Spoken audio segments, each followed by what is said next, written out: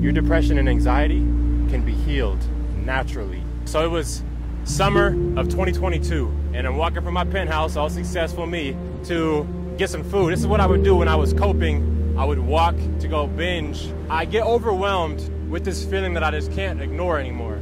And I start weeping. If this is all my life ever turned out to be, wow, Jay Fade at the barber, how miserable and depressed that would be. I let that wash over me. Like, man, you gotta change, you gotta evolve.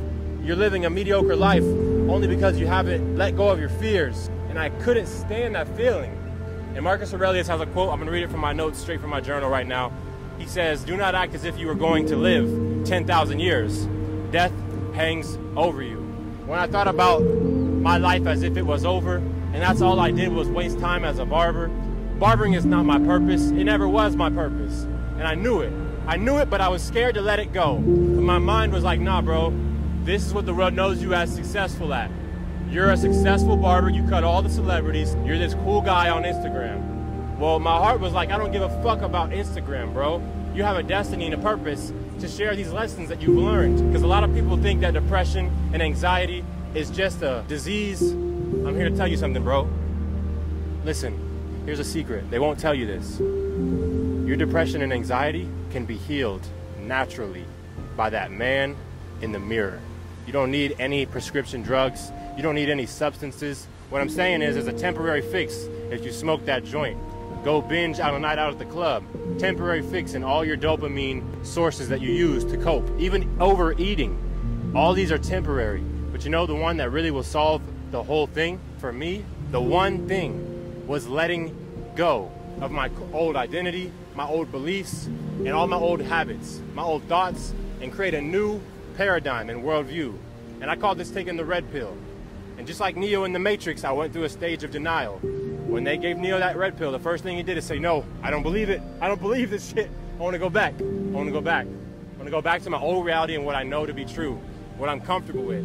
I was in limbo, unfortunately, for over a year about choosing my new life path versus staying who I knew I was as a barber, staying in comfort and popular delusion. That's what society is. It's, it's popular delusion. We, we pretend that it's okay to work a job that we hate, to be in a craft or a job title that's not actually propelling our existence forward to our highest version of ourselves. Everyone's purpose is to become the highest version of themselves and then gift that individual to the world. And I knew this, I knew this, I knew this in my soul since I was a little kid in Ohio.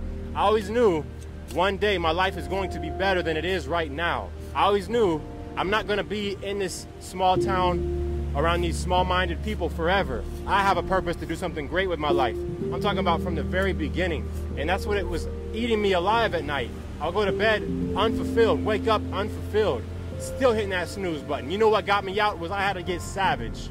I had to have an abnormally early wake time. I got a question for you. Right now, if I gave you a wake time, bro, that was extremely uncomfortable, but you know it would push you to your highest self. You know if you committed to this, it will get you out of this rut that you're in. Because it's so abnormally different than your old character, it's obvious you're now in a new character. You're now a new individual. What would that time be? I already told you guys about what I was doing. I was busting the nut in the sock. I was ordering Uber Eats. I was pushing snooze on the alarm. I was going to bed late. I was smoking a joint every day. On the way home from crying with all that food that I was coping with, I stopped at a dispensary and I bought a pack of pre-rolled joints. And I told myself, I deserve to smoke these joints. I deserve it because I've been going to the gym. That's what I would tell myself. Anytime that we tell ourselves we deserve something is when we start to fall off. Deserving more comfort is never what is the answer to excelling in my purpose. I knew that. But I, I was coping with the pain, the painful existence of not following the calling of my conscience to be a speaker, to be a life coach and give wisdom to the world. I was holding all that in and it just died inside of me, it just rotted and ate me alive from the inside out. And I was just living with that pain. Decided to stop at the dispensary and grab some joints on the way home. And this to me. This right here, this created a pattern of existence that I really regretted so much. I went from smoking once a week on the weekend to, to every day of the weekend to then every day of the week and weekend. And then I would, instead of just smoking at night, then I was smoking in the morning and at night. And I basically just started being high all day. And this was the slippery slope of my depression and anxiety and wanting to just escape my own mind. I hated that I wasn't living my purpose, and I couldn't see the path to becoming that man. It, it seemed so far away in the distance that to think about taking steps towards it was way too painful and daunting, and I didn't want to follow that calling of my conscience. So instead, I just went on a slippery slope down. We're either improving or life's getting worse. There's no in between and there's no stagnation because nature doesn't support stagnation. And so I was withering away from the inside out. I had like the soul of an old man. And this is what changed my life is when I decided to talk to my client who he pulled up on me and he, he told me that he had to stop smoking. He was like tired of hitting that vape pen. He was tired of hitting that THC pen and he said he was gonna stop. And I was like, you know what, bro? I got one joint left in my closet. I got one joint left in my cupboard. And I went and grabbed it and I flushed it down the toilet right in front of him. I was like, bro, you know what? I'm done. Let's do 30 days. I told myself I would, I would start with just 30 days of not smoking. And this is exactly what I did. But guess what? I felt so good after 30 days, I said, you know what? I'm gonna go the rest of the year. And guys, now it's been eight months. I've been sober for eight months, sober and abstinent, and waking up dumb early for eight months. What's up, puppy? And this is what happens. You just attract love into your life. How you doing, man? How you doing? What's up? I don't know if you guys can see, but I got a new friend. I got a new friend.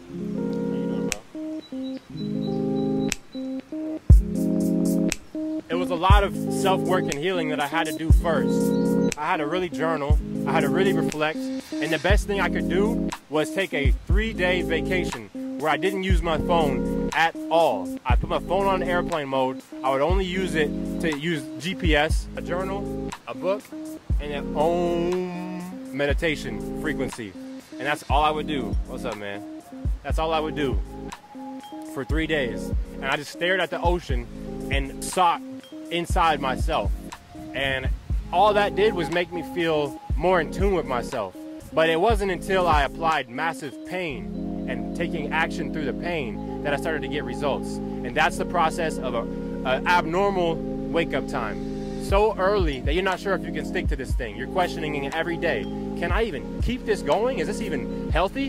Is this even possible?